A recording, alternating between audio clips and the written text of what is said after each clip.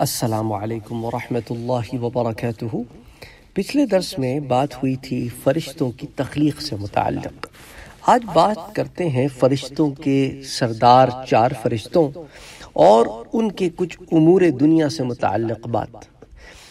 عبد الرحمن ابن سبات یہ تابعی ہیں، رحمۃ اللہ علیہ، یہ فرماتے ہیں کہ معاملات دنیا کا انتظام کرنے والے چار فرشتے حضرت جبرائیل، حضرت میکائیل، حضرت ملک الموت اور حضرت اسرافیل۔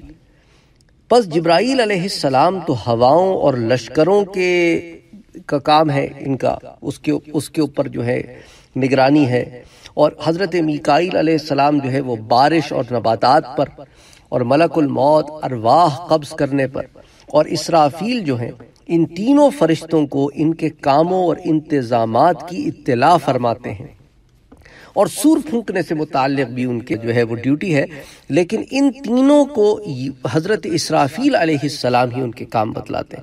تو حضرت عبد الرحمن ابن سبات تابعی رحمۃ اللہ علیہ کے اس قول کو ابن ابی حاتم نے روایت کیا ہے۔ پھر کتاب العظمہ میں ابو شیخ بھی روایت کرتے ہیں۔ امام بحقی شعب الایمان میں اسے لاتے ہیں۔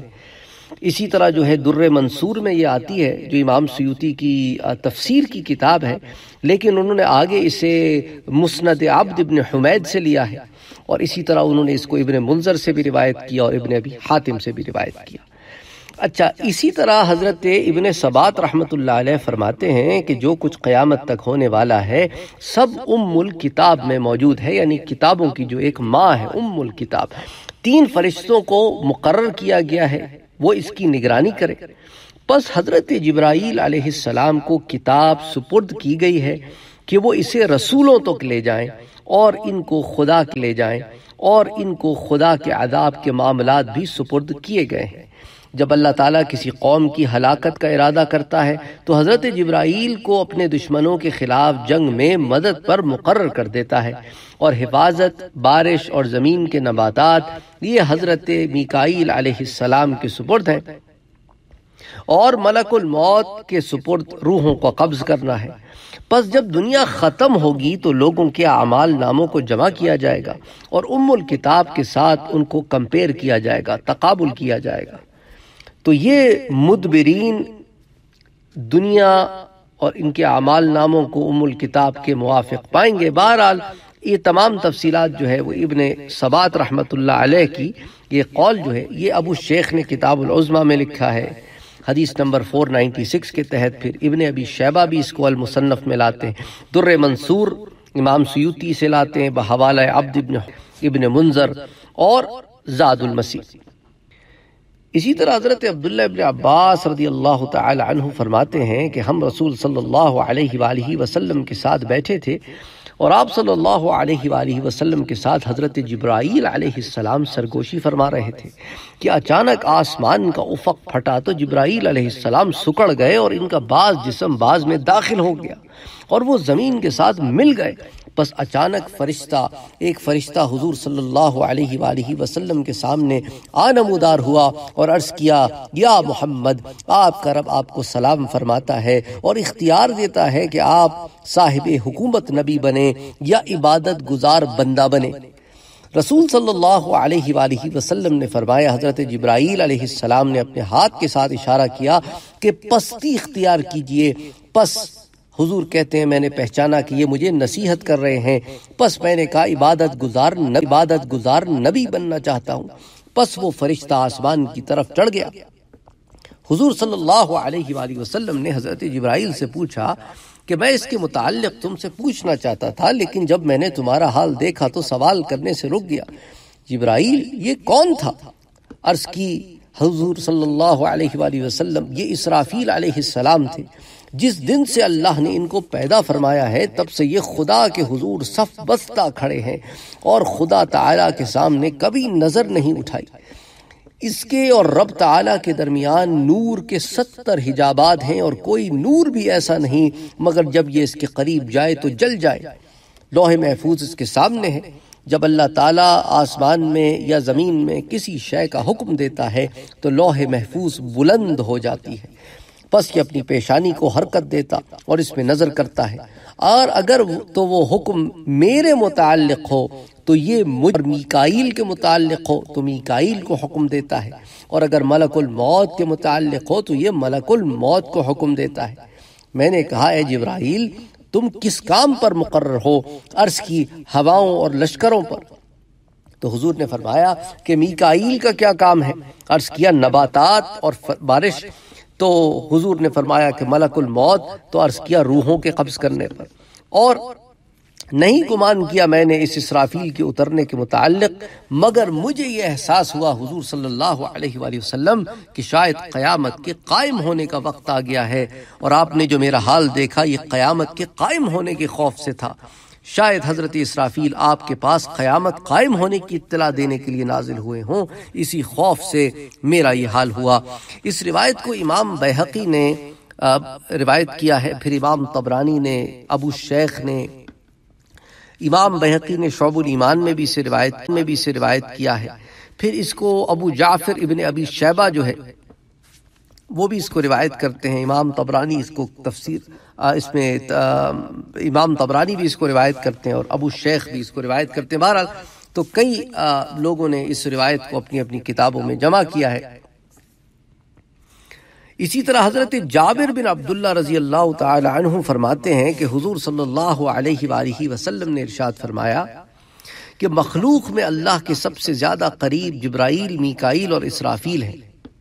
ان اقرب الخلق من اللہ جبرائیل و میکائیل و اسرافیل۔ کہ اللہ سے قریب ترین، اقرب ترین خلق میں یہ تین لوگ ہیں، جبرائیل، میکائیل اور اسرافیل۔ اور فرمایا، اور یہ اللہ تعالی سے پچاس ہزار سال کے فاصلے پر ہے۔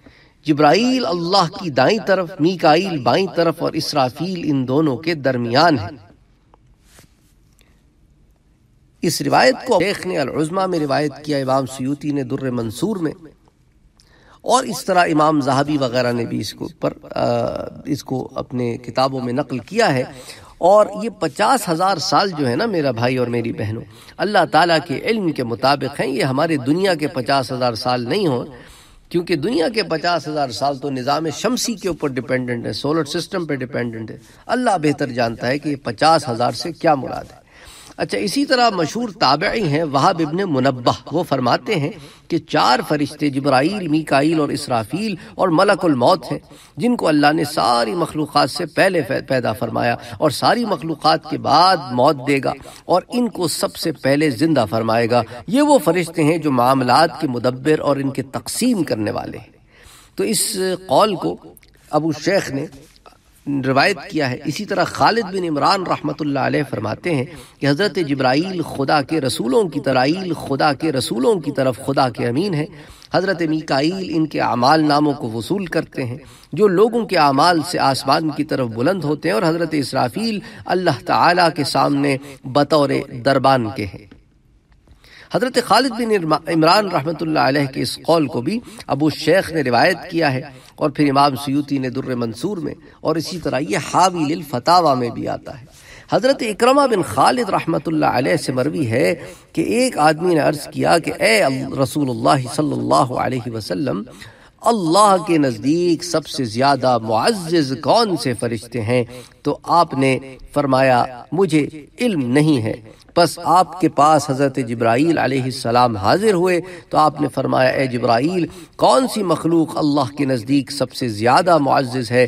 انہوں نے عرض کیا، مجھے بھی علم نہیں۔ پھر حضرت جبرائیل آسمان کی طرف چڑھ گئے، پھر اتر آئے اور کہا، جبرائیل افیر اور ملک الموت، زیادہ عظمت والے ہیں۔ بس جبرائیل جنگوں اور رسولوں کے وزیر ہیں۔ میکائیل ہر گرنے والے بارش کے قطرے اور اگنے اور گرنے والے پتے کے نگران ہیں۔ ملک الموت دریاؤں اور خشکی میں رہنے والے ہر بندے کی روح کو قبض کرنے پر نگران ہیں۔ اور اسرافیل علیہ السلام خدا اور ان تینوں فرشتوں کے مابین اللہ کے امین ہیں۔ اسے بھی ابو شیخ نے حدیث نمبر تین سو اسی کے تحت کتاب العظمہ میں روایت کیا اور امام سیوتی نے در منصور میں اور اسی طرح یہ حاوی للفتاوہ میں بھی آتی ہے۔ حضرت ابو ابو الملیح رحمت اللہ علیہ یہ اپنے والد سے روایت کرتے ہیں کہ انہوں نے حضور صلی اللہ علیہ وآلہ وسلم کے ساتھ صبح کی دو رکعت نماز پڑھی اور نماز بھی حضور صلی اللہ علیہ وآلہ وسلم کے قریب پڑھی۔ پس حضور صلی اللہ علیہ وآلہ وسلم نے دو رکعتیں ہلکی ہلکی پڑھی وہ کہتے ہیں کہ میں نے آپ کو تین وہ کہتے ہیں کہ میں نے آپ کو تین مرتبہ یہ کہتے ہوئے سنا کہ اے اللہ، جبرائیل، میکائیل، اسرافیل اور محمد صلی اللہ علیہ وآلہ وسلم کے پروردگار، میں آپ کے ساتھ دوزخ سے پناہ طلب کرتا ہوں اور آپ نے یہ دعا تین مرتبہ فرمائی۔ اس روایت کو امام حاکم نے، المستدرک میں روایت کیا، امام طبرانی نے، پھر مجمع الزوائد میں بھی آتی ہے۔ اسے ابو جعلا نے، المسند میں، پھر کنز العمال میں اسی طرح نسائی شریف میں ترمزی شریف میں، ابن ماجہ میں، اسی طرح مسند امام احمد میں، اسے پھر امام بحقی، پھر کشف الخفا میں ابن خزیمہ اس کو صحیح میں روایت کرتے ہیں۔ کئی کتب حدیث میں، جمع الجوامع میں، شرح السنہ میں، کئی کتب حدیث میں یہ روایت آتی ہے۔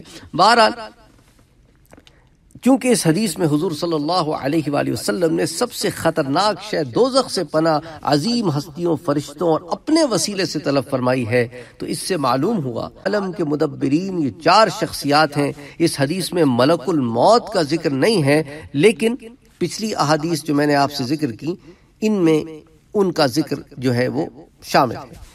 بہرحال ایک اور حدیث دیکھ لیتے ہیں، پھر آج کے درس کو یہ اختتام پذیر کریں گے۔ حضرت عائشہ صدیقہ رضی اللہ تعالی عنہ سے روایت ہے کہ حضور صلی اللہ علیہ وآلہ وسلم پر بے ہوشی تاری ہوئی اور آپ صلی اللہ علیہ وآلہ وسلم کا سر مبارک بی بی عائشہ کہتی ہیں کہ میری گود میں تھا بس یہ آپ کے چہرے اقدس پر ہاتھ پھیرنے لگی اور شفا کے لیے دعا کرتی رہیں جب آپ کو افاقہ ہوا تو فرمایا، نہیں، یہ دعا نہ کر، بلکہ اللہ سے جبرائیل، میکائیل اور اسرافیل علیہ السلام کے ساتھ بہترین رفاقت کی دعا کر۔